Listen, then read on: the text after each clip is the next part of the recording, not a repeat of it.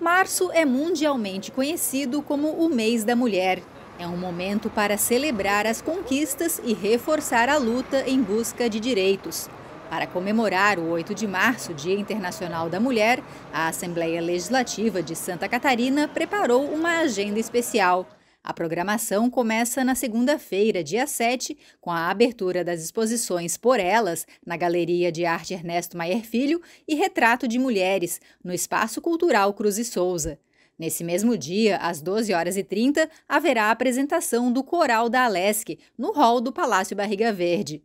No dia 8, às 17 horas, acontece a abertura oficial da programação do Mês da Mulher, com a apresentação da bailarina Laura Flores com o projeto Inspirando Vidas. No dia 9, às 17 horas, também no hall do Palácio Barriga Verde, haverá o lançamento literário da obra Intempestividade, da escritora Sandra Lodete.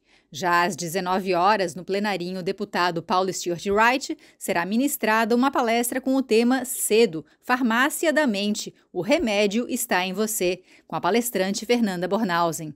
Encerrando a programação, no dia 22 de março, às 17 horas, no hall do Parlamento, será realizado o lançamento literário da obra Da Torre de Marfim ao Vale do Silício, da advogada Ana Blasi. Integrante da bancada feminina da Assembleia Legislativa, a deputada Marlene Fengler reforçou a importância de comemorar o mês da mulher.